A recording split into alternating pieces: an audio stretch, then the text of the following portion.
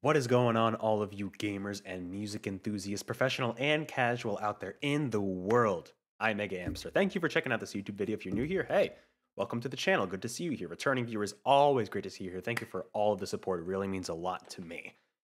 We are here to talk about one of my favorite aspects in gaming. And I mean, the gameplay, of course, is really fun. You know, characters and story can be great. For me, I love listening to video game soundtracks, as many of you out there might. Um, you know, video game music is kind of it really shouldn't be in its own th- genre, but it kind of is. But like, it's so diverse. It's so varied across different genres and different kind of moods that a game and tone a game is trying to set, right? And different music can be used as a tool in games to really immerse you in the experience. And that's specifically what I want to talk about today. How these music tracks can kind of just add to your gameplay experience, kind of make you feel like you're in the game world and you're living, breathing in that world through these characters you're playing as, whether it's an avatar character or an actual established character in the story, um, you know, and just kind of being able to feel like you're part of that world. Because, and, and, I don't know if it's sorry, but I'm gonna, I have a little bit of a cough, so hopefully it goes away soon, but you might have to deal with that a little bit. I feel like it's not talked about as often as it should be you know, obviously, like I said, gameplay, character story are very important, but music really can add a lot to that immersion. So whether it's, you know, more atmospheric, like more melancholy or like calmer tunes or like more upbeat ones that kind of get you pumping, you know, we're going to kind of explore a bunch today. So I handpicked a bunch that really came to mind when I thought of this topic. And I asked a few, uh, the viewers on the channel here and got some recommendations. So we're going to check those out. Almost all of those I've not heard before, so that'll be kind of new for me. So let's jump into it here. Of course, we got Kirby. He's ready to he's ready to vibe as well. Let's jump into one that this was the first one, one of the first ones I should say that came to my mind, and that is Xenoblade Chronicles. Now, Xenoblade, I've only played Definitive Edition, haven't played two or three. We'll get to one of those later as well. Um, just pinnacle of immersion in terms of game music. You know, you could pick literally any songs, any of the battle songs, any of the overworld themes. I specifically went with probably the one of the most recognized overworld themes uh, themes in the game being Gaur Plains. Now, the cool thing about Gaur Plains is that there's both a day and a night version. So what we're gonna do for these is just take take a little bit. I might close my eyes for this. Sorry if it gets weird, but I, maybe you can do the same as well. You know, if you're interested, feel free to. And we're just gonna kind of listen to the music and just like picture. Let me know in the comments below while we do this too. Like what comes to mind when you hear these songs. Of course, if you play this game, you'll probably think of that event in the game or that environment in the game, right? That's probably what I'll be doing for a lot of these. But, you know, even if you haven't, just like feel free to listen and kind of see what you think. So let's go. We're going to go with Gaur Plains Day here. Let's do it. Right? Just picture yourself. Now, obviously, I know Xenoblade Chronicles where this takes place. You know? It's a very kind of joyful, upbeat song, almost like ready to set out on some kind of adventure, right?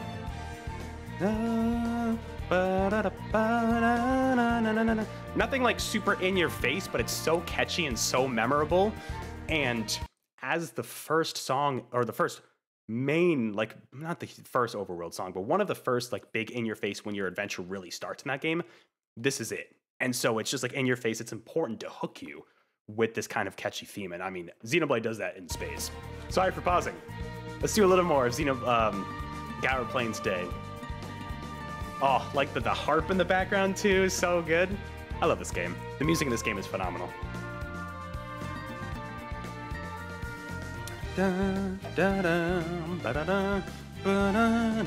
boom, boom, bum. Mm-hmm. That's oh, it's so good. You know, you can just imagine you and your crew just running through vast fields of grass and just blues, maybe some clouds in the sky, you know, very like, I imagine it being like a sunny, clear blue sky day. You know? So, like joyful, but also kind of relaxing. Now, you want to talk about relaxing. Let's get into the nighttime one here. You ready? Still Gaur Plains, but different time of day, obviously. Oh, that hits. That hits.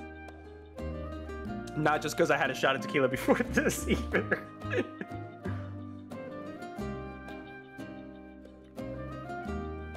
There it is. Mm-hmm. A lot calmer than the other one, right? But I think it's I think it's like percussion in the background, but they make them sound like crickets, which is really cool. You hear it? The you hear that in the background? It's cool. But still that same catchy melody, but obviously a lot calmer now. So that's such a vibe song. That is such a vibe song. It's so good. But anyways, that's just a taste of Xenoblade Chronicles. We're gonna get to more Xenoblade Chronicles later, not definitive definitive edition, but another game. Anyways, let's move on to something that some of you may know I am much more familiar with across the entire series, and that's Sonic. Forgot I left the Sonic GIF up here. Sonic music, for the most part, is very in your face, but sometimes it's a little more, um, a little more atmospheric, immersive. So we're gonna a little more low key. So we're gonna kind of take a example of both of them here. One of my favorite games, my favorite 3D Sonic game for sure, is Sonic Adventure, and Emerald Coast, but specifically the big version. I say what you will about big, his gameplay's not fun in that game, but the song is such a vibe. Let's go. You ready? Like, yeah, this song is such a vibe. This to me, I mean, because I played the game, this to me is sunny day beach song.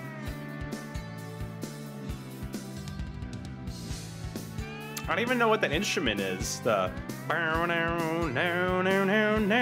is that just a guitar? Like, what is that instrument? If anybody knows, let me know in the comments.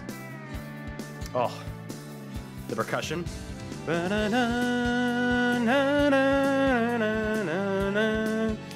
Oh, it's so, it's such good feels, and that's what Big's all about in the game, you know?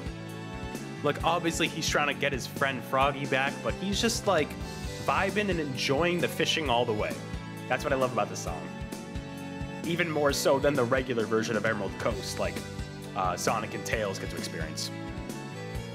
Wait, no, you don't play as Tails and Emerald Coast. I lied. Gamma, I guess technically. So that's a good one. Like I said, more of a low key kind of immersive one. But songs can also be more in your face. And so here's a great example. Um, shout out to Tee Lopes, my my guy. We've got Sonic Mania, specifically Rogue's Gallery, which is Mirage Saloon Act 2 might be my favorite song in the game. I love this. This is such a bop. Also, you're gonna you might get some sunny day vibes from this, but experience it yourself. Let me know what you think in the comments below. Here we go. Oh no, I didn't start from the beginning. Crap. Forgot to reset these. Here we go. The the whistle in the background adds so much. Ready? Oh, I love this. This is one of my favorite songs out of any game, dude.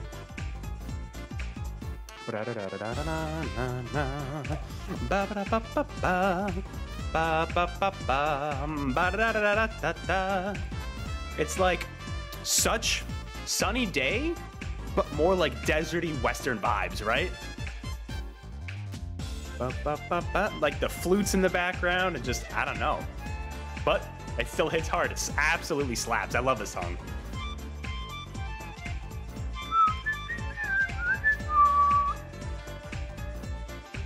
All right, we can't make this go on forever. But anyways, you get the idea. It's it's like same like joyful kind of vibe and like obviously like beach and desert. You can kind of kind of similar. You can, there's sand. You love sand. Um, I would make a Star Wars joke, but that's overdone. Um, but it's much more in your face, but it still adds to the immersion, right? You can imagine yourself like just kind of like jamming to this. Imagine like an old western movie where they're just kind of bopping along as they go up for the uh, the noon showdown, as they would call it. But let's get back to the actual low key immersive ones. This is a big one for me. Man, we got to talk about Bayonetta because most of the songs are action packed in your face. But the Gates of Hell, which is the bar you go into that Rodin runs, all I'm to say, and I will not say any more than this, I would do things with this song in the background. That's all I'm going to say. That's all I'm going to say. Enjoy.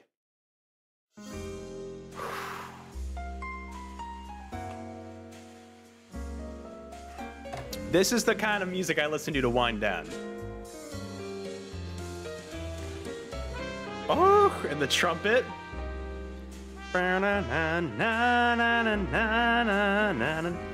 It's so good. It's so much more low key. Because the Gates of Hell is the place you kind of go back to after every like chapter you do in Bayonetta, which obviously action-packed, fast-paced battle. This is where you go to cool down, buy some weapons, buy other items like healing items and stuff, and just fucking chill. That's what's great about this song, and it captures that vibe perfectly. Let's listen a little longer. Oof, that piano, so good. I suppose if you're not a huge fan of uh, like smooth jazz, you may have less of an appreciation for it. It's not for everybody. Oof. Yeah, you get the idea. Such a good song. That's so low key. All right. Um, this one is interesting. This is kind of low key, but at the same time, it's a little bit different. I almost forgot to add some crap. Okay. It's a little bit different. This is the song of healing from Majora's Mask. And this song, it plays a few times in the game, if I remember correctly, but definitely at the beginning when you first get to Termina and you kind of meet with the Happy Mask salesman before you embark on the new journey in the land of Termina, right? This song, I, this is the most complicated song ever made me feel my entire life because I feel like kind of happy, like I get joyful chills, but it's also so somber and creepy. I don't know how this song does it, but like just give it a listen. I apologize if I get emotional. The song makes me very emotional, so. This is a good one. Mm. That hits on so many levels. It's so simple, but it's like haunting. But there's almost something joyful of it, and, I, and part of it might be because it's um like um, fans have pointed out the main part of it is Saria's song backwards. No idea to this day if this is intentional. I like to think it is, just on Aonuma and the team's part, but maybe that's where the joyful part comes out of, but it's like, it's still very creepy. And it sets the entire tone of the game, like this kind of disturbing, weird world that you're in, almost a dreamlike state. But there is a little bit of hope in there. And I think this song out of any song in this entire list we're gonna go through, might capture that almost the most perfectly. A little more. I want you to listen without me talking for a little bit.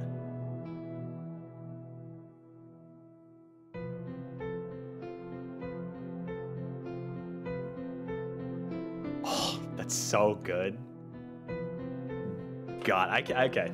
I love this. I could listen to this song all night. It's just it's one of the songs I go to when I'm like feeling down and it just like it just I don't know, it hits so right. All right. Um, what do I have up next?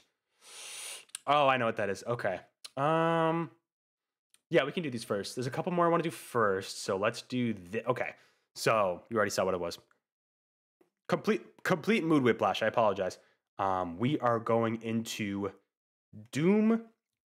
This is specifically Doom Eternal. This is probably gonna get me a copyright claim. I don't care as long as it doesn't give me a strike or anything.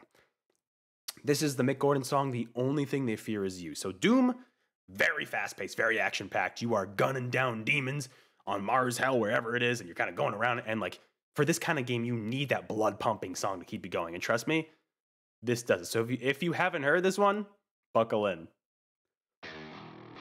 Oh, I wish I could turn it up louder. I mean, I could, but it, it would get very loud.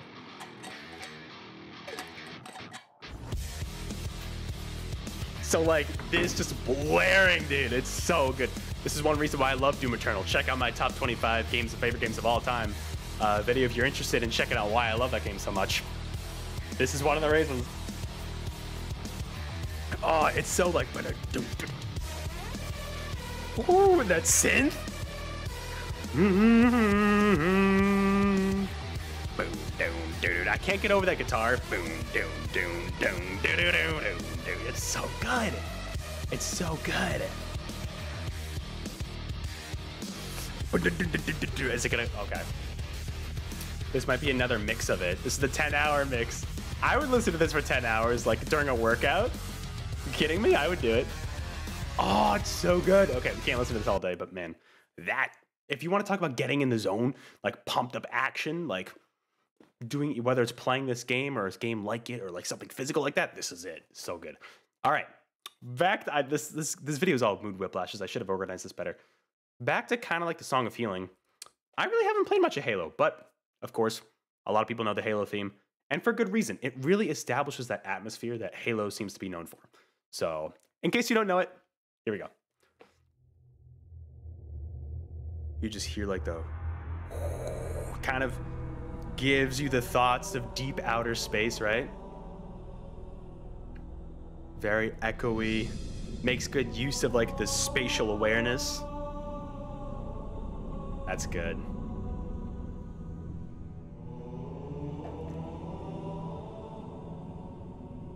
I'm almost just picturing myself like floating in space.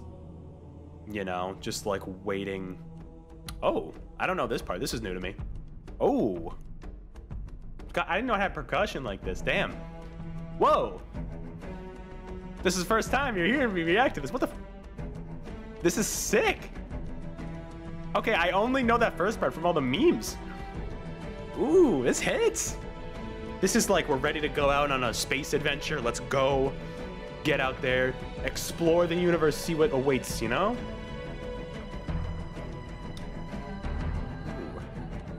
And it's all about the instrumentation. It's all about the key of the song and the chords being used. It's, oh, yes, this is almost like pirate vibes in a way, but like space pirate. Speaking of space pirate, I forgot to look these up, and this is the reason why I made this video. I forgot to include these. Okay, we got to talk about Metroid. Metroid's the pinnacle of like game atmosphere. So we're gonna do a couple here. Um, first of all, oh crap. Quickly plug in my keyboard. All right, we got to talk about Metroid Prime. Specifically, Phendrana Drifts is a really good pick for this, I think. I love the sound of Phendrana Drifts. So we're going to get into it here. You know, there's kind of like the little, you kind of like, for the most part, you get the higher, higher octave notes and then like the background, almost like a whirlwind, but it feels like cold, but not in a bad way, you know? It's like cold, but has a little bit of like hope and joy in it in the background, you know? It's just that perfect ice world. So whenever I think of like immersive ice world music, this is it. And the little echoey noises that kind of fade into the background. So good.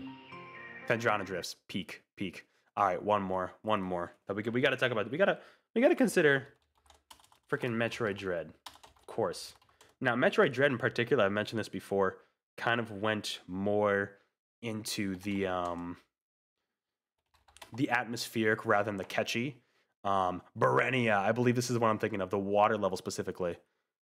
And then I ignore the ads. Um Whereas, you know, you get a little more catchy tunes in some of the earlier 2D Metroid games. This one goes full on immersion. And personally, I love that they did it.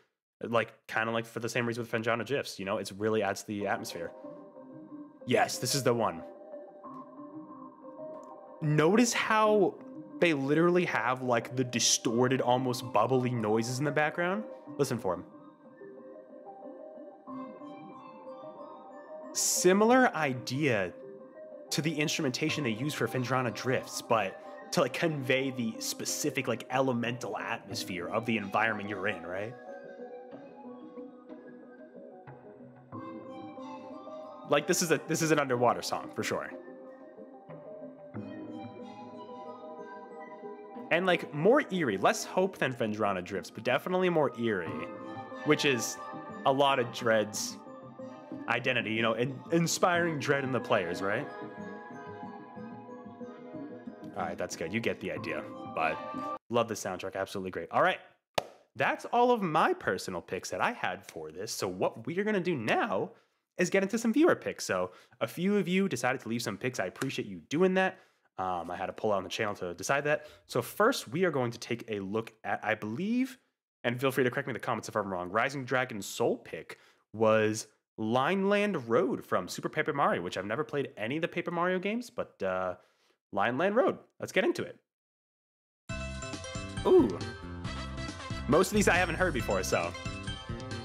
Okay, it's like the classic theme. Hmm. I love this. This is good vibes. This is like good vibes the song. But like, not super complicated. I love the bell in the background too. Not overly complicated. Like, you get the feeling this might be an intro area to the game, right? Which I imagine it is. Let me know in the comments if it is an early area. Now, what I'm actually going to do quickly is I for most of these I pulled up some gameplay. And so first I'm going to picture what I think of in my mind. Definitely, I try not to look at the gameplay too much when I pulled it up. Definitely like first world kind of vibes. Um, like almost one of the first areas. Probably pretty simple, like grassy kind of area. Um, maybe some simple like Goomba enemies you're kind of going through. Good beginner course. So let's take a look at some gameplay here and see what it looks like. Oh, I've okay. Oh, I love the 8-bit Mario's. Ba, ba, ba, ba. Is that Mario Land here? Da, da, da, da, da, da. I did not hear this part. Um, ba, da, da, bum, ba, da, ba, ba, ba, but that was definitely Mario World's Everworld theme. I love the incorporations of the older songs. Ba, da, ba. And it also works that they have the 8-bit Marios there. That's wild. Is that part of the game? I've never played this game. But yeah, kind of like the grassy overworld. Some trees too. That's cool. I imagine this is one of the starting areas. Especially because the HP is 10, I'm guessing that's probably the minimum you start with. I love it. Good vibes. Good pick, Rise of Dragon Soul. I appreciate you sending that one in. Where's my tab? There we go. All right. That is Rise of Dragon Soul pick. Next, we've got Huey's pick, and Huey picked, honestly, any of the overworld themes from Jak 2, which I also have not played. Um, specifically, I found this one called Haven City Walking Theme. Let me know in the comments below what a section of the game this is, but let's give it a bit of a listen. Oh. Gives me like Song of Healing vibes, but like obviously a lower octave. But this almost sounds like an underwater city. Either underwater or like nighttime kind of like sneaking around, you know, something a little more calm. But also maybe intense. It's definitely like a minor key there. Um, I pulled up some gameplay here. I think? No, I did not. Okay. Because I was trying to find gameplay for this, I couldn't find it. But let's listen to it a little bit more. Huey or anybody else, you have to let me know in the comments below what uh what the gameplay this is like. But I imagine it's nighttime for sure. Now that I'm hearing it, it might be kind of like sneaking around a city at night. But also could be underwater. Well, it is called Haven City, so. Ooh, I like it. I like it. This, talk about atmospheric, this really sets the tone for what I imagine to be that part of the game, but you'll have to let me know in the comments below what that is. But uh, thank you, Huey, for your contribution there. Really appreciate it. Um, next, we have Sloshicle's pick. So thank you, Sloshicle. Um, like I said, we're coming back to Xenoblade Chronicles. Sloshicle picked a few different ones. Um, I just chose one for, well, technically two, but you'll see why. Um, similar to Xenoblade Chronicles 5th Edition, when we had Gaur Plains, we have both day and night versions of what is called High Mock the Wildwoods. Now, I have not played Xenoblade Chronicles 2 or 3, barely any of X, but um, let's give this a listen. Okay. This is daytime. Okay, interesting. I imagine very like jungle heavy environment. Well, it's a wildwoods, I guess, so maybe. Hmm. Kinda ominous. Hmm. I'm imagining like jungle, kind of flies around. Maybe that's not what it. I have no idea. I could be completely off. Okay, but a little ominous. Like maybe there's some danger deep in the heart of the jungle, right? I'm trying to picture it. I'm trying to get the image of just Uni out of my head. I did find some game find some gameplay for this. Let's see if this is any. Oh. Oh, there's Uni. Oh, interesting. It's like ruins. No, I hear it. I hear it. I was thinking like deep jungle, but ruins I can definitely hear. Okay. Well, maybe in the flute there's a little more hope. It's a lot more low key. It's not like all hope is lost with the uh, the tone of this song, but it's definitely interesting. I like it though. Very, very much atmospheric. It's definitely not catchy like Gaur Plains, but it really sets the tone. Cool. All right, let's give the night version a listen because I got that one up as well. Okay, it kind of starts off the same. But also kind of sounds even more ominous. You hear like that bass and then like the I don't even know what you call that.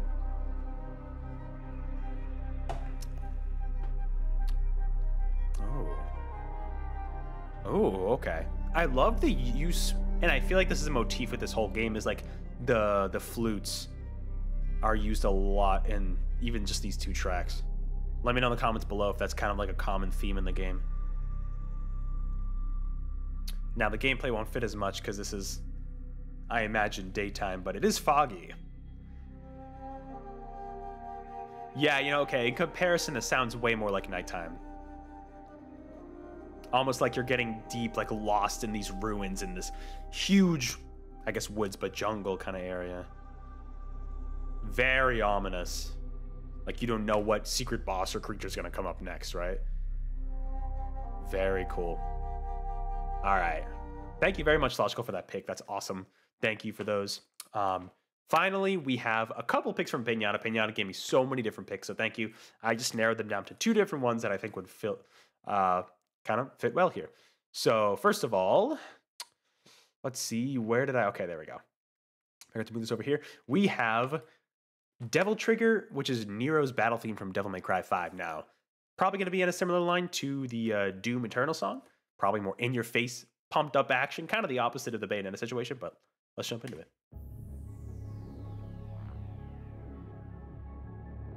If any song's going to get me a claim, it's either this or The Only Thing That Fears You.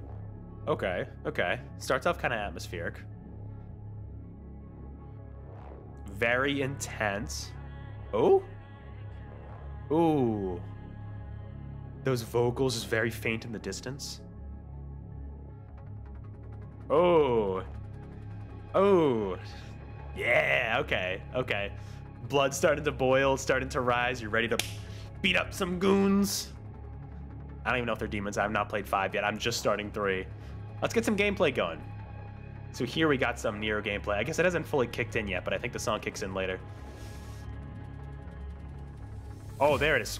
Oh, yeah, there it is. Now it hits. You got to build up. You got to get to the good part. Let's go. Ooh. Yeah, okay, this is it. Just like the only thing they fear is you. This is the banger part.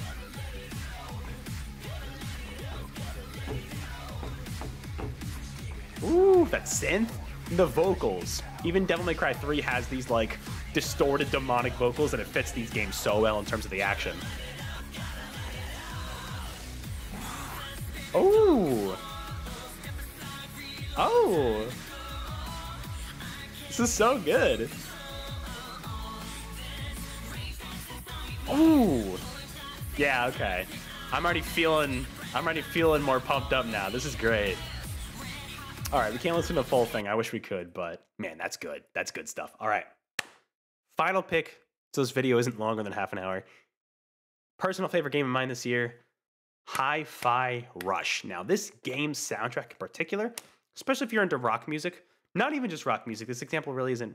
This isn't really an example of that. This one we're gonna check out, but um, like each boss has its own theme. Each level has its own music theme, and it, the game is designed around. Music is such an important part of this game. It's designed around the stages around the bosses. So in particular, this one Pinata picked, which honestly is probably the best pick for any like immersive boss fight theme in the game, is the song called My Heart Feels No Pain, which is, if you know Hi-Fi Rush, they kind of take existing licensed songs and kind of arrange them into their own versions of the game, which uh, for like streamer mode, you can turn on so you don't get the claims and uh, make it fit the themes or bosses more. Um, this one specifically based off a Fiona Apple song called Fast As You Can, but this is the Mimosa boss fight. So let's give it a listen first, and then we're gonna get into the gameplay. So here we go. Oh, that pop and intro.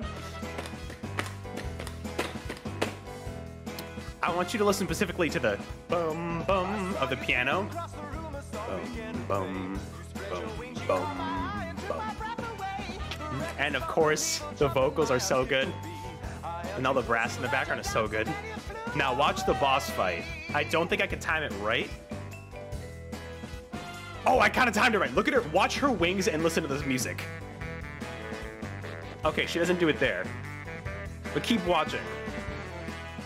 Watch when Mimosa flies up in the air and watch her wings movement there. If we can get back to that. Feels no. Boom, boom. But you see how her wings move to the downbeat? I love that. That's what makes this fight in Song so good. And it adds to the immersion. Like I said, this game is designed around music. That's really, it lends itself so well. And it's a whole stage play, it's a whole show she's putting on for the crowd, and you're fighting her while you do this, so it just fits so well. What? This is a great example to end on, so thank you, Pinata, for, uh, you know, giving us this pick. But with that, we are gonna leave that video off here. I'll turn it up a little bit. We're gonna leave the video off here before it gets to quite half, oh, it's over half an hour, there we go. So, I wanna thank you all for watching this video. Let me know in the comments below what you think of these different songs. If you felt anything, you know, if you felt like if you pictured certain ideas, let me know for each song in the comments below if you're interested. And if you have any other examples of songs that really add to your own sense of immersion for a game, definitely drop them in the comments below. I'd be curious to check them out. Um, God, I love saxophone so much. Thank you for watching again. I will catch you all in the next one, and hey, don't let anybody tell you that game music is not important because this video clearly disproves that. So, have a great one, go listen to some tunes, and I'll catch you on the flip side. Bye for now.